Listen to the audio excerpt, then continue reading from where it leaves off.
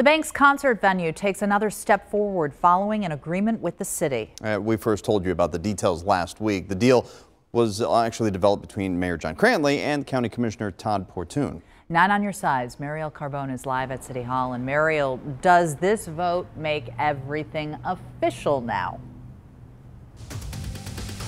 It does, at least on the city side of things. Now, we know that there has been a lot of back and forth on this push and pull. The mayor actually criticized the county's deal with the Bengals to make tailgating permanent space down in that area. So he says that this deal that they've worked out, it will resolve that issue and also is a signal that the Banks concert venue will move forward. Now, here's a breakdown of what the deal really entails. The city of Cincinnati will now not develop what's known as the Crosses lot. Instead, the county will be able to use that parking for Bengals games, and that allows the county to fulfill its promise to the Bengals. Now, the city will have exclusive development rights to two lots north of Paul Brown Stadium, and then the county, it'll have exclusive rights to two lots adjacent to the stadium.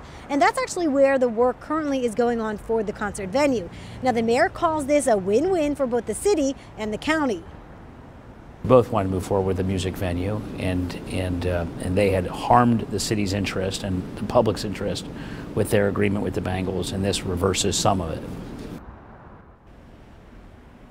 Now, one part of this that's been praised by the mayor and other council members here today is the fact that the city can redevelop this lot. It's right next to Pies and Pints, and it's actually the largest undeveloped lot on the riverfront.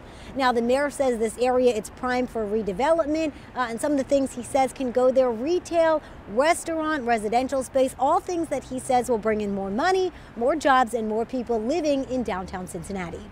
Reporting live from City Hall, Mariel Carbone, 9 on your side.